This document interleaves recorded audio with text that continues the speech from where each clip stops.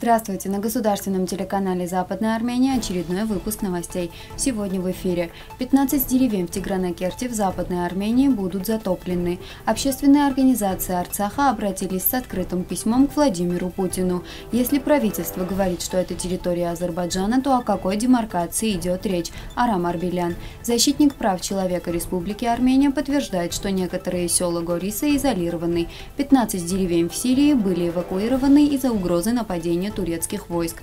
Ирак хочет увеличить торговлю с Арменией. Опубликована карта с указанием монастырей и церквей Арцаха. Поддержим государственное телевидение Западной Армении. Строительство Сильванского водохранилища в Тигранакерском районе Западной Армении планируется завершить в следующем году. Когда вода будет полностью собрана, 50 деревень пройдут под воду. Село Антак, считавшееся древнеримским поселением, также войдет в историю. В селе находится крепость, которая считается исторически значимым поселением. Точно неизвестно, когда была построена крепость, но это числится в римские времена. Позднее церковь замка Антак была превращена в мечеть, а квадратный минарет был пристроен узнаем позже. Замок, объявленный в 2015 году особо охраняемой территорией из-за пренебрежения и равнодушия, был превращен в руины. Правительство Западной Армении осуждает несоблюдение турецкими властями первоначального свободно-информационного соглашения, а также экологические изменения, вызванные этой неестественной политикой. Около 30 общественных организаций в Арцахе направили открытое письмо президенту Российской Федерации Владимиру Путину с просьбой предотвратить провокационные действия, регулярно проводимые Азербайджаном в Арцахе. Такое поведение азербайджанской стороной подрывает стабильность в регионе, представляет угрозу для народа Арцаха и направлено на дискредитацию российской миротворческой миссии в Арцахе, говорится в письме.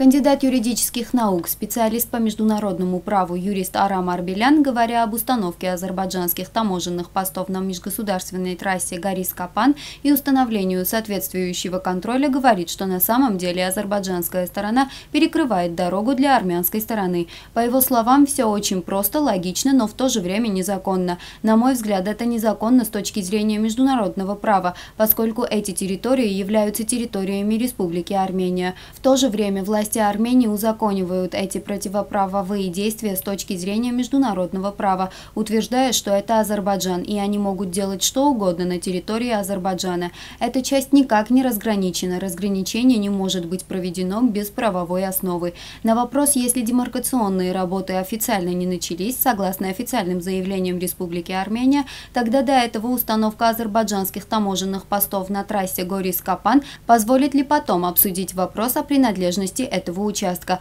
Арбелян отметил, что если у власти останутся те же люди, то о каких переговорах может идти речь. Правительство Западной Армении напоминает, что сочтет недействительным и все решения, ущемляющие права армянского народа. И уже есть исследования по делимитации восточной границы Армении и Азербайджана. Еще и демографические данные, относящиеся к статье 230 Северского договора.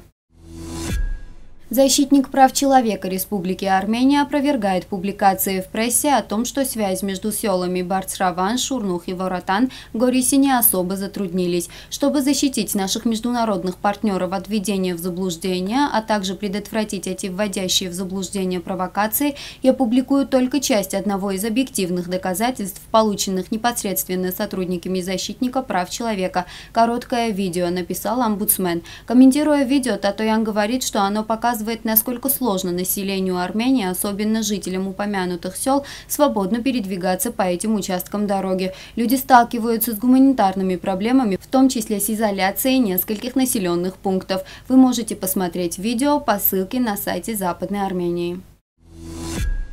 Жители деревень в курдонаселенных районах северной части Сирии, которые находятся под угрозой возможного нападения турецких войск, начали покидать свои дома. По данным сирийских демократических сил, к настоящему времени полностью эвакуированы 15 деревень между районами Тел-Тамер и Аин-Иса.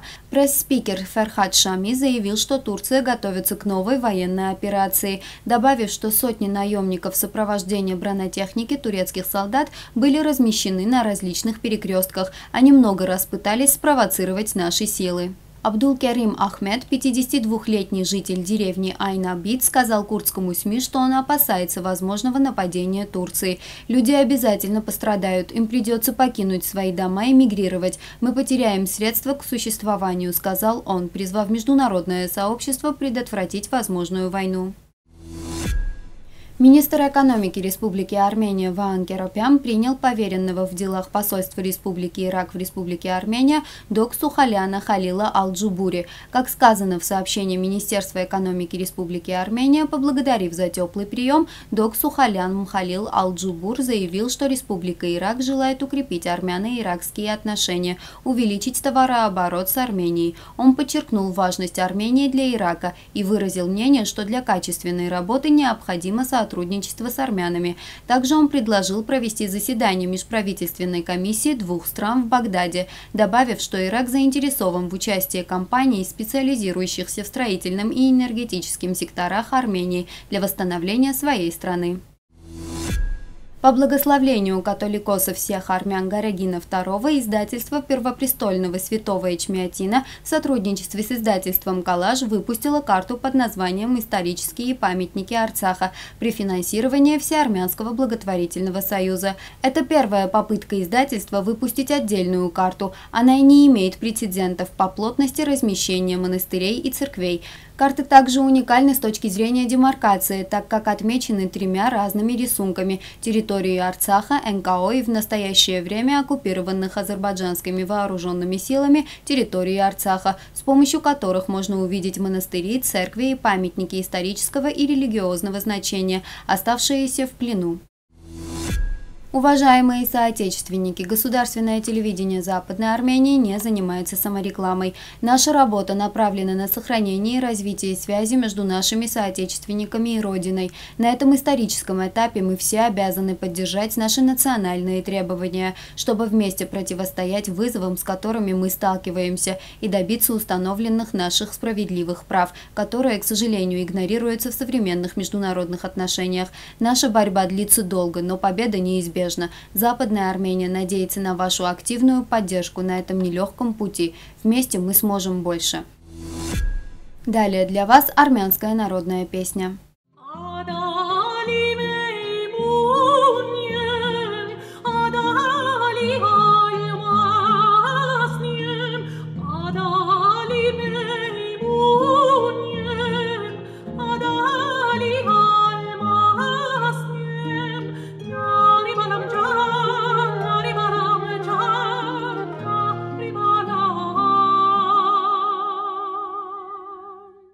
Полная версия доступна на официальном YouTube-канале Западной Армении. На этом я с вами прощаюсь. Оставайтесь с миром.